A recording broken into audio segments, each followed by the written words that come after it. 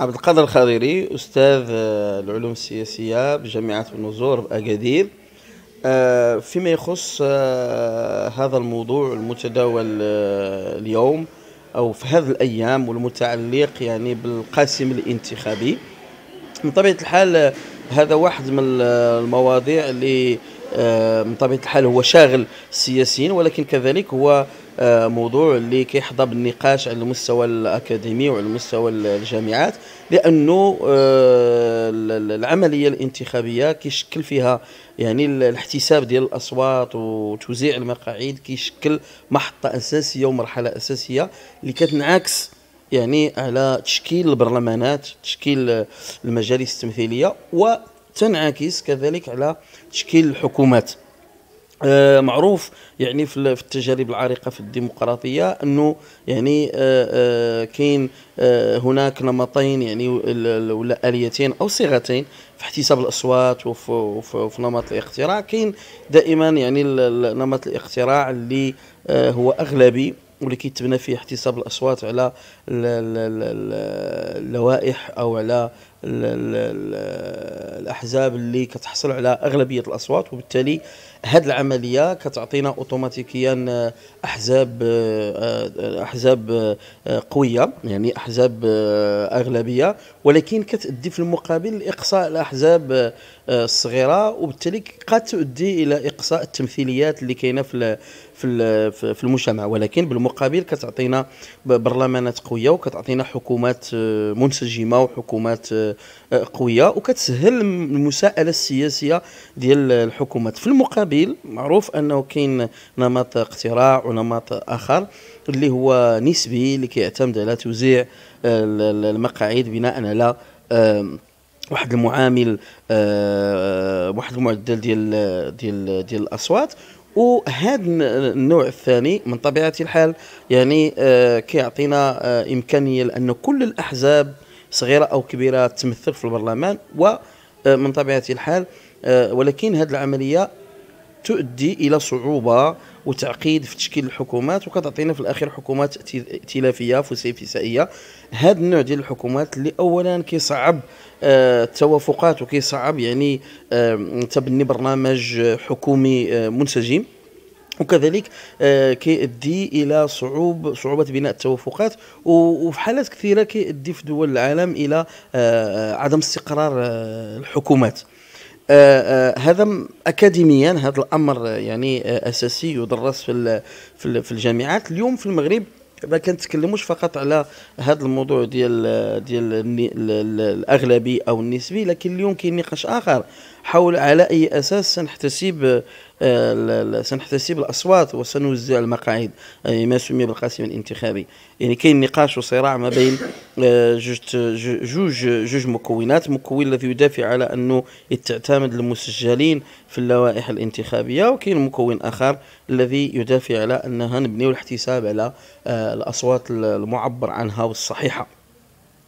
من طبيعة الحال هذا النقاش وهذا الصراع بين المكونات السياسية هو مرتبط بوضع الأحزاب السياسية في في في المغرب اللي هو من طبيعة الحال آه، محدودية آه، يعني الامتداد الاجتماعي للأحزاب السياسية وضعف تمثيلية في ديالها على مستوى المجتمع أكثر من ذلك أنها آه، عدم قدرتها على إقناع الناخبين بالتصويت يعني يعني عدم قدرتها على إقناعهم عبر الحملات الانتخابية وعبر البرامج الانتخابية. أكثر من ذلك الأمر أكبر من ذلك أنه يعني هناك تحدي ديال محدودية المسجلين في اللوائح. آه، مسألة مسألة آه، فعالية الحكومات يعني هل ستكون الحكومة المقبلة بدون العدالة والتنمية أكثر فعالية من الحكومة الحالية؟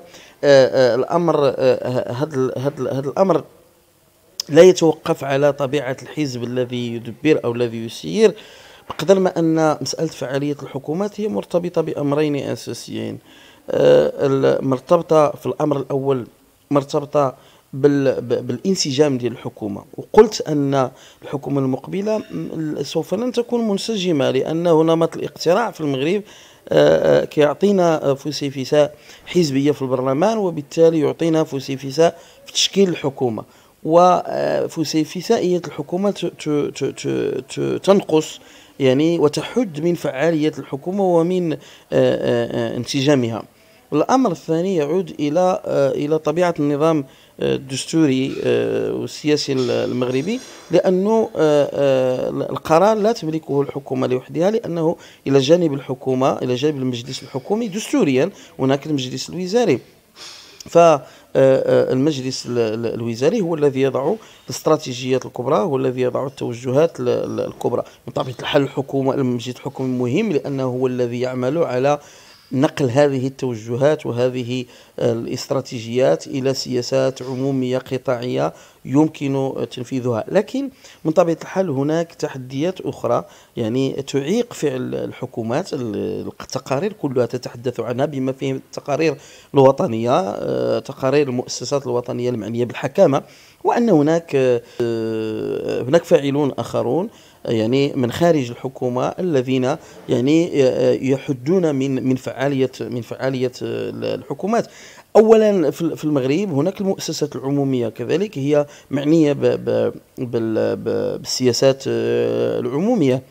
آه، والمؤسسات العمومية هي فاعل قوي الذي أحيانا آه، آه، هو أقوى من الحكومة من الحكومة أحيانا. بجانب الحكومة هناك يعني فاعلين آخرين. أكثر من ذلك الجميع يتحدث في المغرب على وجود لوبيات قوية في المجال الاقتصادي وفي المجال العقاري وفي غيرها من المجالات التي من طبيعة الحال تساهم في إعاقة فعل الحكومة وفعل المؤسسات فعل حتى الجماعات الترابية. بمعنى أنا بالنسبة إلي في نظري يعني من الموقع الأكاديمي آه، آه، آه، موضوع موضوع القاسم الانتخابي في نظري هو الصراع الموجود عليه ليس مرتبطا ب التدبير الحكومي ومرتبطا بالفعل الحكومي بقدر ما أنه هو مرتبط بالحفاظ على المكاسب السياسية للأحزاب السياسية على مستوى على مستوى البرلمان. الصراع الانتخابي في المغرب ليس صراع برامج ليس صراع استراتيجيات ليس صراع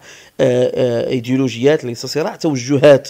بقدر ما هو صراع حول المقاعد في نظري هو أن أصلا الحكومة في المغرب ليست الفاعل الوحيد و ليست هي ليست هي لا تملك السلطة الدستورية الكافية لوضع استراتيجيات وسياسات تساءل تساءل تساءل عليها. بالتالي القاسم الانتخابي صراع آه، ظرفي وصراع آه، حزبي آه، ضيق في نظري مرتبط بوضعية الأحزاب السياسية وبحفاظها على مكاسبها يعني على مستوى البرلمان.